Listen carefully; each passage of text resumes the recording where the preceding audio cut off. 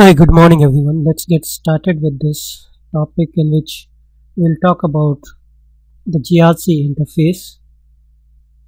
So as you can see that this is the GRC interface and we get to this screen from the transaction called NWBC. Okay, so when we give the transaction as NWBC, so this stands for NetWeaver Business Client okay so once we go to the NetWeaver business client okay if I click on this it will take me to this particular page. Okay so here I can select okay. You can see there are different NetWeaver business client configured here. This is the one which is for governance risk and compliance. This for customizing. This for using NWBC to access risk management. Okay power user process control business user base role to run GRC application. Okay and this is a restricted BFCG that role we have created. And this role is basically the base role to run GRC applications GRC process control customizing and all the stuff. Okay so once we click on this it will take us to the page. Okay so you you can see that it is taking us to this particular page okay so in this page if you see this interface you have my home which is having the work inbox the objects. Okay you can run your process risk response incident policies open issues search the document you can change your profile etc okay now let's go to this tab called master data Okay, so in this topic, we'll just run through the tabs. We'll go into the details of these tabs in a subsequent training. So you can see that this is a organization tab, which we use it for maintaining the company's org structure for compliance and risk management related assignments. Okay, we have regulation and policies here, business objectives, activities and processes. Okay, activity hierarchy, business process, indirect entry level controls, mitigation controls.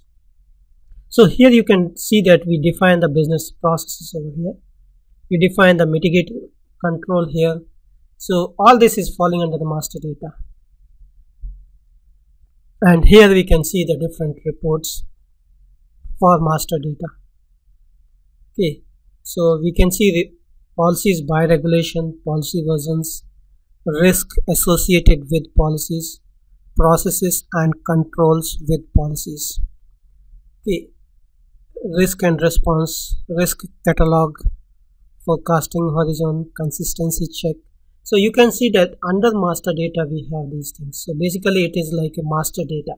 It is like a repository. Okay, so you create and define the the structure, the the key data, the master data. Okay, if we go to the rule setup, let's go to the rule setup.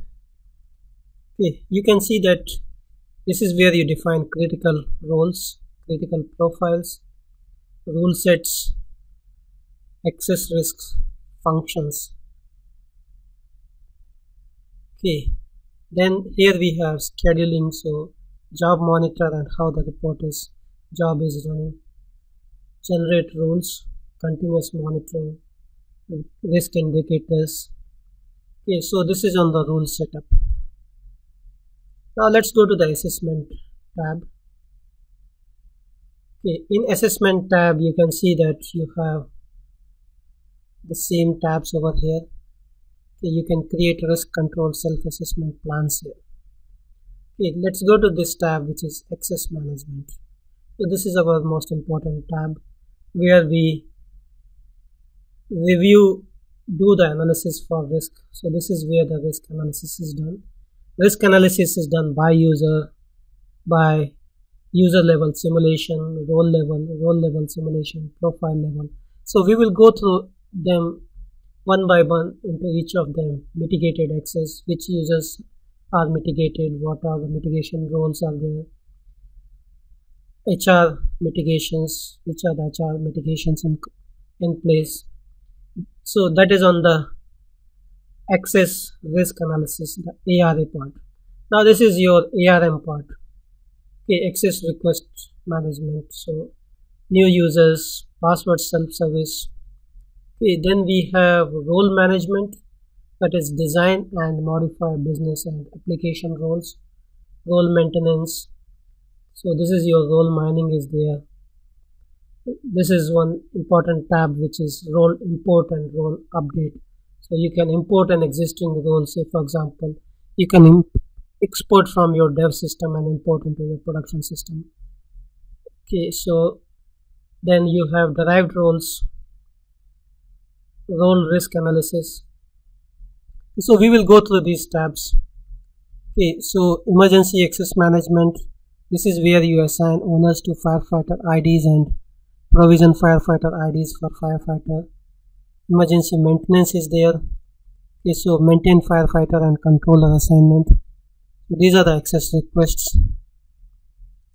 Okay so compliance certificate reviews alerts. So this is where you define the background jobs and monitor the background jobs so this is one important tab we'll spend more time here. Okay so this is access management. Reports and analysis. Okay in the reports and analysis this is one important tab for the management. Okay so they look at what is the heat map. Overview top risks which are the top risks. How they are performing in terms of compliance. Access management change report okay so user authorization analysis entity authorization analysis role authorization analysis object authorization analysis. Okay so these are the different rep analysis reports is there. So you have reports for emergency access management. Okay then we have risks and opportunities report. Okay risks per objective risk catalog. So different reports are available here. So this is another thing which mainly the managements are interested in. Okay now let's go to the user creation tab. Okay so in this particular tab you can see that role sync schedule process. So we synchronize the roles. So we select okay we synchronize the roles. Say for example if we have an ECC system or depending on which system we have the role so this is synchronized to that particular system. Okay so that it is in sync. Okay so that is on the user creation part. Okay so now let's go to the next one. Okay so this is taking some time. So let me go to this tab here in the meantime. You can see the risk structure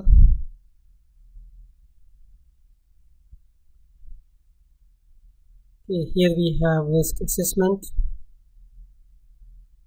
We will go through them in our subsequent training. Risk monitoring. Critical rule sets. Okay report center. This is where we have the different reports. User access so you are doing GRC role assignment access risk analysis emergency access management okay, mitigated access so these are the different tabs which is present okay so we will go through them in detail in our subsequent training sessions Okay, thank you for joining and have a nice day. Bye bye.